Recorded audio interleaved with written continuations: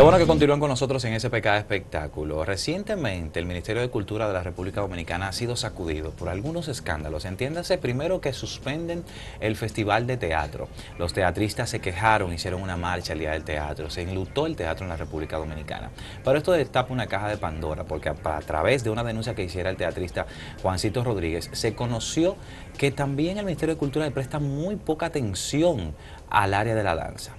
Esta poca atención se basa en que el tabloncillo del Ballet Clásico Nacional todavía no se ha reparado y estamos hablando de que los bailarines clásicos de la República Dominicana no tienen un sueldo digno para ejercer esta danza.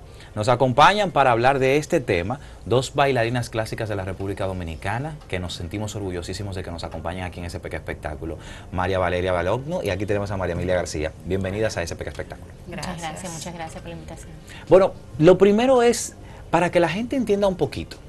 O sea, yo siempre he dicho que el rigor del bailarín, sobre todo el clásico, es bastante eh, duro, fuerte. O sea, ¿cómo tiene que prepararse? ¿Cómo trabaja un bailarín día a día para mantenerse tan esbelto y, y con estos movimientos tan, tan perfectos, por así decirlo? Bueno, te respondo yo. Es una profesión de muchos años de estudio es una, es una profesión que requiere muchas horas de entrenamiento a nivel físico y a nivel psicológico también. Eh, nosotros nos pasamos muchas horas en un salón de ensayo para poder presentar al final un espectáculo de gran calidad. Estamos hablando más o menos, María Valeria, ¿cuántas horas al día entrena un bailarín? Bueno, eh, nosotros entrenamos de las nueve y media hasta las dos y media de la tarde. Eh, ese es el promedio, pero en muchísimos otros sitios se trabaja hasta las 5 de la tarde. O sea, eso depende de, las producciones. Muchas de las veces estamos casi todo el día dentro de un escenario. Ay, Dios Entonces, y no solamente es dentro de nuestra área de trabajo, cuando salimos también, porque tienes que tener un descanso, una alimentación, eh, eh, algo propicio para que tú puedas al día siguiente levantarte y volver a repetir la misma rutina. En este caso se, se habla mucho de que el bailarín eh, precisamente como dura tantos años formándose frente a un espejo, su ego crece, crece bastante. ¿Esto es cierto? Bueno, como en todas las otras profesiones, existe el ego, pero el bailarín suele ser muy humilde y el bailarín suele ser un intérprete y un manifestor de la danza y de, y de, de expresar lo que, lo que le toque en cual o tal situación pero el bailarín es muy artista y una persona muy sensible. Entonces el ego juega, pero como en todas las otras profesiones. Somos, somos, también, perdón, somos también comunicadores. Sí, sí porque a, través del movimiento comunican muchas cosas.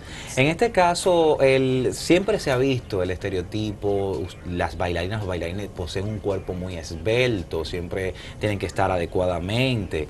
eso tiene una razón de ser. Ahora, ¿cómo tienen ustedes que ingerir, comer? para mantenerse así tan esbeltas? Cada persona necesita su alimentación especial, cada persona es diferente. Hay unas que necesitan un rigor alimenticio más alto, de nutrición, de vitaminas, de ejercicios extras, porque no es solamente dentro del salón de clase, también afuera. Ah, o sea, tienen que ir al gimnasio también. Hoy en día la exigencia física, como, como todo se va poniendo de moda, no es solamente la que se le ven los huesos, sino la que, la que proyecta una constitución física sana. Y eso no es solamente que se logra dentro del, del salón de ballet, del escenario, sino fuera. Por eso, por eso es una profesión de mucho rigor. Somos, somos artistas, pero realmente somos eh, deportistas de alto rendimiento. Wow, a donde quería llegar. Para mí son atletas de alto rendimiento, realmente. Yo menciono todo esto eh, durante la entrevista porque la denuncia que se está haciendo es una denuncia desde mi punto de vista hasta grave. Porque que tengamos una compañía nacional de ballet y que no tengan el salario adecuado para el nivel de profesional que son, porque tienen que físicamente estar de punta en blanco, como decimos en buen dominicano, y aparte de eso, tener una nutrición adecuada y que el salario que perciben no sea quizás directamente proporcional a lo que tienen que gastar para mantenerse funcionando dentro del ballet clásico. ¿Qué es lo que está pasando? ¿Cuánto tiempo tiene esta situación? Mira, es una pena, es una pena porque realmente la vida laboral de los bailarines es muy corta. Eh, nosotros siempre hemos abogado por tener un salario digno, por poder vivir simplemente de bailar, porque lo, que nos gusta es bailar. Pero en la actualidad y la realidad de nosotros es que tenemos que para poder sobrevivir, hacer muchos otros trabajos. Unos que tienen que ver con la danza igual, pero otros que, que no tienen que ver con la danza. Entonces, este es un momento crucial para la danza, porque no hemos unido los bailarines del país y lo que queremos es una dignidad. Queremos que nuestro trabajo se dignifique y que coja cierto valor, porque realmente es un esfuerzo, una preparación, como todas las demás carreras, y en este momento se, nos está, se está olvidando la danza. Se está olvidando la danza y hacemos esa exigencia por el hecho de que pertenecen a la Compañía Nacional de Danza, que están bajo la tutela del Ministerio de Cultura. Así es. Que justamente en el Ministerio de Cultura estamos viendo que hay personas con, con unos sueldos como que eh, unas cuantas cosas extrañas, que gestores culturales que cobran por allí, que cobran por acá, que uno dice que es un huacal con muchas botellas. Sin embargo, entonces tenemos que ustedes, los bailarines, tanto ya me hablan de la compañía contemporánea, el folclórico y la compañía clásica, eh, no tienen un sueldo digno. Cuando hablamos de este sueldo digno, lo que ganan, ¿le da para sustentarse? No. No, está por debajo de la cesta básica. De verdad, o sea, estamos hablando de que su sueldo está por debajo de la canasta básica familiar de la República Dominicana. Y que como Así es. bailarines ustedes tienen una alimentación distinta. Así es. Así es. Nosotros hacemos magia, nosotros hacemos danza porque amamos el arte. Justamente porque amamos el arte. Eh, veo esta fotografía que ha circulado por todas las redes sociales, por amor al arte, con la pregunta de, de que ya se acabó como ese por amor al arte. O sea, son ya eh, profesionales del, de- del área de la danza que decidieron vivir de la danza, pero no quiere que sea por amor al arte, sino que también se le, se le remunere como debe ser. Así, es. Así es. Así es. Cuando hablamos de una remuneración, eh, un promedio, bueno, vamos a, vamos a establecer quizás un símil con otro país, eh, Estados Unidos, ¿cómo trata a un bailarín clásico? En el mejor de los casos, semanalmente pueden ganar dos mil dólares semanal. En, el En mejor de los en casos. el mejor de los casos. Y vamos, a poner el peor de los casos. Eh, 1500. 1.500 dólares Semanal. semanales. Y tengo entendido, por, por experiencia llegada a mí, que también le dan los viáticos, o sea, le dan su dieta. Todo, todo. su- y un entrenador y un masajista. Y son tratados como, como Ah, artistas. entonces, apa, entonces vamos a hacer el símil, como a mí me gusta. Entonces vamos a poner, eh, supongamos que vamos a comparar uno- una de, de ustedes con una bailarina que pertenezca a, vamos a poner uno normal, vamos a poner el, el- el- el hispánico de Nueva York, Ah. al, al ballet hispánico de Nueva York, que pertenezca. Allá el ballet hispánico de Nueva York eh, tiene sus viáticos semanales, tiene también su sueldo semanal. Bueno, las horas de trabajo son más porque creo que duran hasta las 5 de la tarde, Así es. pero no hacen más nada que eso. Exacto. Total. Tiene su masajista también por cualquier lesión. Aquí los viáticos no tienen viáticos. O sea, no hay una dieta específica. Ustedes cuando van día a día a ensayar, no tienen, por ejemplo, No. ahí una alimentación. No, No se le entrega suplementos como hacen allá. no. Tampoco tienen, o sea, un subsidio de suplementos. No. So, trabajamos con las mayores precariedades. Trabajamos Como, como dijiste, haciendo magia. haciendo O sea, nosotros, eso que te dijimos al principio, de que nosotros después de, de retirarnos de nuestro trabajo, empieza la recuperación física, eso no existe. Nosotros tenemos que tragar lo que podamos para empezar a trabajar en la, en la tarde. Y O sea que- muchas veces estamos hasta las 10 de la noche, ahí, ahí, para volverse a levantar a las 7 de la mañana, a las 9 coger una clase de entrenamiento, más la preparación de la función. O sea, pero que eh, esto incluso le- le- le- lo hace a ustedes más, por así decirlo, más susceptible a lesiones. Porque Por no, descansan poco. Por supuesto. Después de un pico de entrenamiento tiene que haber un descenso eh, de recuperación y eso nosotros no lo tenemos. ¿Tendrán ustedes, por ejemplo, quizás, no, vamos, aquí en República Dominicana, su masajista dentro de la compañía? No. No. Ni un fisioterapeuta. No, nada, nada de no, eso. no, no, no. Si hay una lesión, ¿tienen, tienen ya asegurado que pueden ir a un fisioterapeuta? para- Tampoco. Cada Tampoco. persona tiene que asumir sus lesiones, sus compromisos, su alimentación. O sea, todo. o sea, para que me lo barajen despacio. Ajá. Ustedes en el, en el salón de ensayo, eh, vamos a poner, se caen de la punta y, y se, y se fracturan el tobillo, se lo doblan. O sea, y el Ballet Nacional Dominicano no le envía donde un eh, encargado de esa área, donde un fisioterapeuta para que le trate la lesión. No, pero sí es cierto que tenemos un seguro, Ajá, ok. pero el seguro no cubre muchas de las de ese tipo de lesiones porque no, no está contemplado.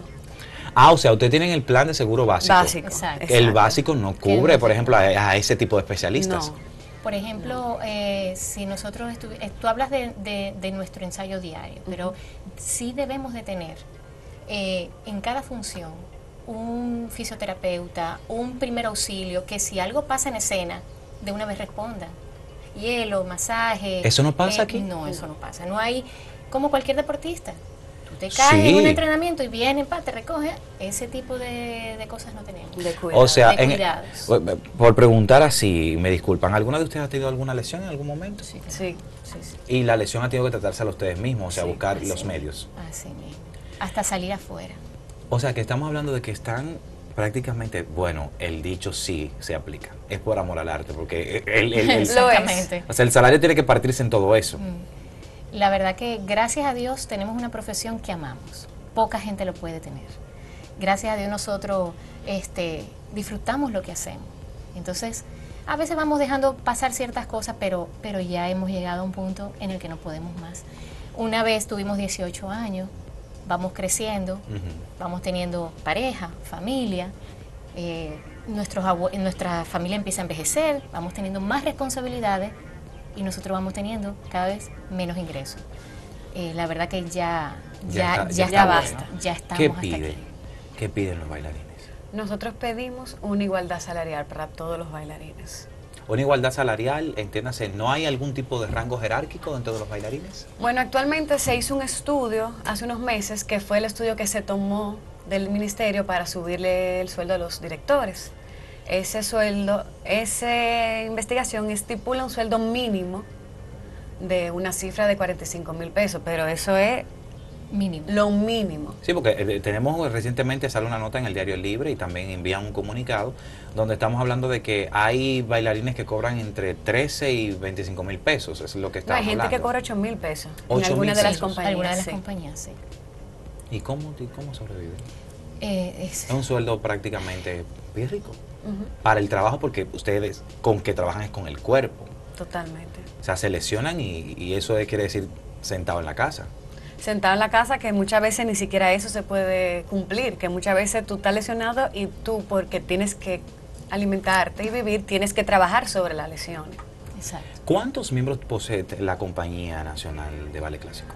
Eh, 14. 14. 14. 14 nombramientos, ¿no? Y Sí. contratos también, ¿verdad? Eh, son Entre 14 todos. nombramientos y 3 contratos. Y o sea, son 17 bailarines. Sí. Exacto. 17 bailarines. Entonces, la Escuela Nacional de Danza, o sea, cuando los bailarines se gradúan de la Escuela Nacional de Danza, me imagino que por eso es que está la Compañía Nacional de Ballet. O sea, entran al ballet clásico Ballet clásico, contemporáneo o folclórico. o folclórico. Entran a cualquiera de esas tres. Sí, Debería de ser. sí. Debería. O sea, que no de ser. pasa así. Bueno, si, el, si la compañía no puede sostener los miembros, tampoco puede darle cabida a esos nuevos talentos. Entonces muchos comienzan a ir y al ver que no hay una estabilidad, que no hay una seguridad, Se simplemente dejan de ir. Y se van fuera del país, o se van a los hoteles a bailar, o comienzan a estudiar una nueva profesión. Oh, padre. Porque yo tengo entendido, por ejemplo, como en otros países, que se tienen dos compañías nacionales. Hay una compañía que es la A, donde están quizás los bailarines más experimentados, y hay otra que es para dar cabida a los nuevos que ya se han formado. En este caso, aquí nunca ha pasado eso. Bueno, ahora mismo hay un proyecto que se llama En Danza Juvenil, que es un proyecto con una iniciativa espectacular, donde los muchachos de Danza Juvenil, de Danza, están haciendo esa, ese... Diría? una pasantía. Una Exacto, pasantía exacto. donde trabajan coreografía de repertorio, donde tienen la posibilidad de trabajar con coreógrafos, incluso de, de los otros mismos de la compañía. Y comienzan a trabajar a manera semiprofesional para después poder entrar a la compañía.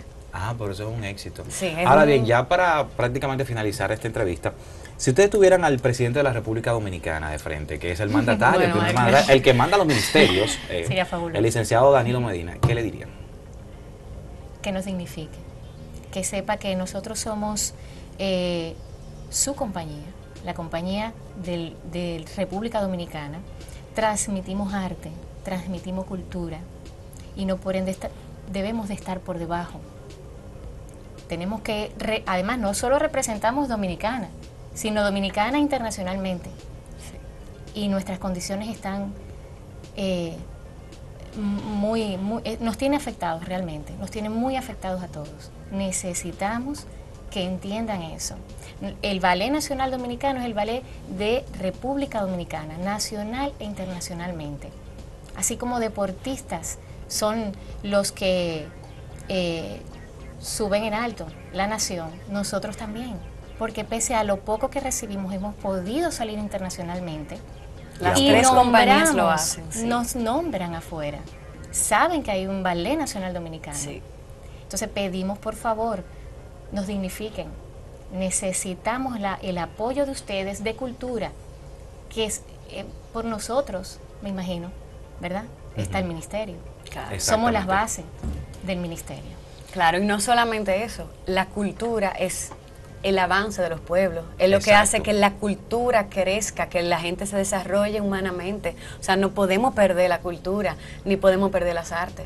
Y actualmente el artista está en un punto denigrado, como, como que no tiene ningún tipo de valor, y al contrario, es lo que engrandece la cultura. Eso sí es verdad. Necesitamos dignificación para el arte en la República Dominicana y para nuestro ballet clásico nacional y también para todas las compañías, en este caso Así los es. bailarines que nos representan. Agradecidos como Muchas siempre. gracias. Gracias, María Gracias a Valeria. ti. Gracias. Un honor para mí recibirte aquí. Gracias. Ya a María Emilia hemos tenido vía Skype, pero gracias también por compartir con nosotros. Gracias a ti. Que esa denuncia se escuche. Nos vamos a una pausa, señores, y cuando retornemos tenemos un artista muy especial aquí con nosotros en SPK Espectáculo.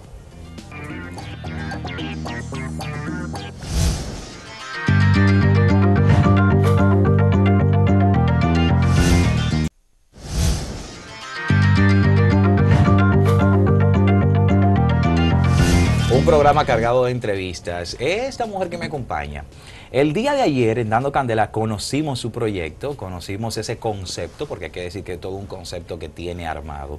Sobre todo es dominicana. Está enalteciendo la bandera de la mujer dominicana. Fue en otras tierras. Y lo hace en familia, porque lo hace con su esposo, lo hace también con su hijo. Ella toca una bandera dominicana que es el merengue y nos acompaña aquí en SPK Espectáculo la faraona, acompañada, claro está, de su faraón. Ahí está. Él siempre- no se le despega del lado. Qué bonito se ve eso. Sí, pero vamos a aclarar algo. No es mi esposo, es mi faraón Eh, solamente. tú fa- ay, mira, pues si tú supieras que yo digo, yo- no se le quiere despegar al lado, es el esposo. Ahorita, ahorita, ahorita me mandan a freír tusa. Y eso me pasa eh, frecuentemente. Frecuentemente Sí, te pasa sí. eso. Me No es pasa, mi primera vez. No, ¿y tu- ¿y tu esposo quién es entonces? Mi esposo, todos ustedes. Sí. Pero tú tienes un background muy interesante, o sea, tienes unos antecedentes muy interesantes con, con el merengue, o sea, desde una Belkis Concepción, o sea, muy amiga de Benizadel. ¿Desde cuándo inicia todo el mundo de la faraona en la música? Bueno, eh, eh, eh, lo que es la música, empecé desde muy pequeña. Vengo de familias que, son músicos y, ya tú sabes, vengo con eso en la sangre, en las venas. Y siempre me ha gustado todo lo que sea un proyecto de música, actuación, todo. Y he tenido mi propio proyecto y he sido parte de otros proyectos. Parte de otros proyectos. En este caso, este, este concepto de la faraona, ¿cómo se da? Bueno, eh, el concepto de la faraona, yo antes era bachatera, pero quise venir otra vez a lo que es a lo que a mí me gusta, que es el merengue, pero quise hacer algo diferente, eh, eh, dar un poco de frescura, eh, de, sensualidad al merengue, y como yo soy muy amante y me gusta leer mucho de la faraona y por lo que ella es, el- el- la fuerza que proyecta, lo inteligente de, de la- Cleopatra. Eh, yo dije, pero ¿por qué yo no, no puedo ser una Pero dicen que? Cleopatra tenía unos baños especiales. Sí, porque Cleopatra, Cleopatra de que para mantenerse joven y con la piel así bien reluciente, eh, se bañaba en, en leche. En leche. o sea, la faraona se baña en leche así como la como la como Cleopatra. Hasta más que con leche. Ah, Sí, sí, hasta con miel, ya tú sabes. Ah, ay, pero mira, por cierto, aquí la doctora Yadira Morel habla mucho de que, eh, de que utiliza la, la, la jalea real, o sea, la Sí, miel, la miel. pura de, de abeja para mantenerse jovencita y ese tipo de Sí, cosas. Así es. ¿Qué, qué tú haces para mantenerte así? Para mantenerme así, muchísimas cosas, pero lo más importante es vivir en paz Ay, vivir y- en paz, y- qué bello. y estar bien con Dios y con, con todos los demás. Estar bien con Dios, con todos los demás. El faraón, ¿qué hace por su parte para que la faraona siga en su grandeza? Bueno, el faraón da lo mejor de sí para que la faraona eh, pues se sienta agradada, hasta fresco le he hecho en, la- en el escenario. Ya te puedes imaginar si... Podríamos decir que buen, una en buen dominicano reina. tú eres el guarura de la, de, de la, de la faraona. En realidad sí, yo la, la respaldo, la escorto, la cuido y al mismo tiempo pues soy parte en el baile de- del concepto de Cassandra Vargas, la faraona. Pero tú bailas de una forma muy peculiar.